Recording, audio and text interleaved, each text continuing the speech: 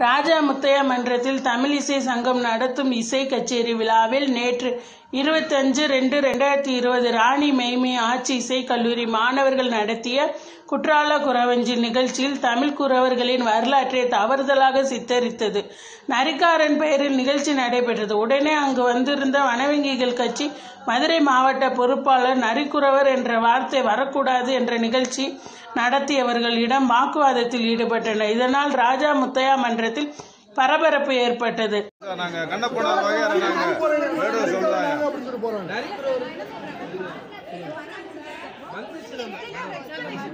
மா இப்பதாம்மா வந்துச்சுமா? நரிக்கூர்னு வந்துச்சுல.